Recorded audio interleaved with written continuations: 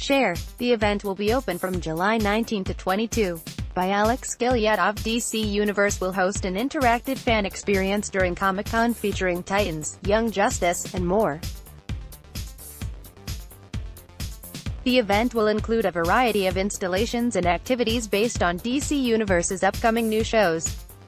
You'll be able to explore Dick Grayson's Titans Loft and experience Dr. Niles Caulder's creations in the Doom Patrol lab.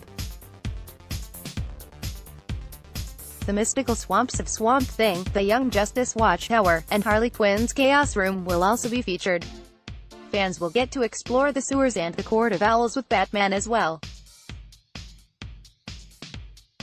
There'll also be a public unveiling of rare artwork and memorabilia. The event will be open from July 19 to 22 and will take place across the street from the San Diego Convention Center at the Hilton San Diego Gaslamp Quarter. The hours of operation for Thursday to Saturday are 9.30 a.m. PT 7 p.m. PT, with lines closing at 6 p.m. PT on Sunday, the event will run from 9.30 a.m. PT 5 p.m. PT, with lines closing at 4 p.m.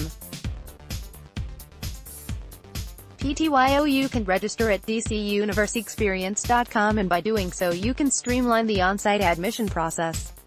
However, you won't be able to reserve your spot or bypass the line entirely. DC Universe will launch later this fall.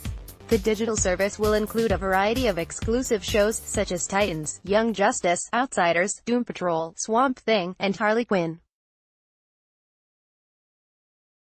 Alex Gilyadov is a writer for IGN. Be sure to check out his YouTube channel and follow him on Twitter.